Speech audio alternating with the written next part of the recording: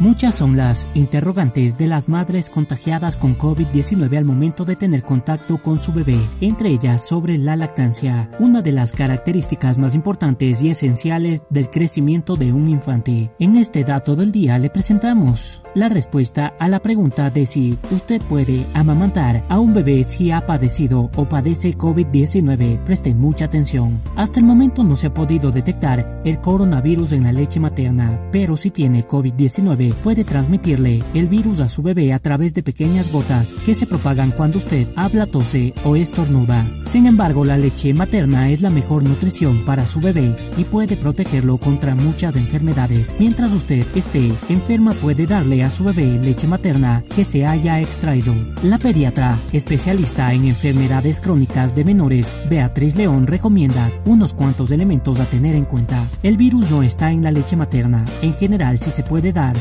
si la madre está en buenas condiciones generales, es decir, si se encuentra evidentemente bien de salud a pesar de ser víctima del virus. De lo contrario, hay probabilidades de que el bebé se contagie y es mejor evitarlo o buscar otras formas de darle de lactar. La especialista recomienda que si es de caso, debe lavarse bien las manos antes de tocar la máquina de extracción de leche o partes que bebieron. Debe lavar también todas las piezas después de cada uso. Colocarse también una o dos mascarillas al momento de darle de lactar. Si es posible, usted debe extraer la leche aparte y que otro familiar le dé la misma por medio de un biberón. Si no es el caso, debería permanecer en silencio mientras le da de lactar al infante. Cuide todas las normas y medidas de bioseguridad recomendadas en el hogar. Lávese bien las manos antes y después de tener contacto con su bebé. Por otro lado, si usted se encuentra embarazada o está dando de lactar, es recomendable que se vacune. No olvide limitar el contacto cara a cara con su bebé, tosa y estornude en un pañuelo. Además, cuando no esté alimentándolo, trate de mantenerse al menos a 6 pies de distancia del infante.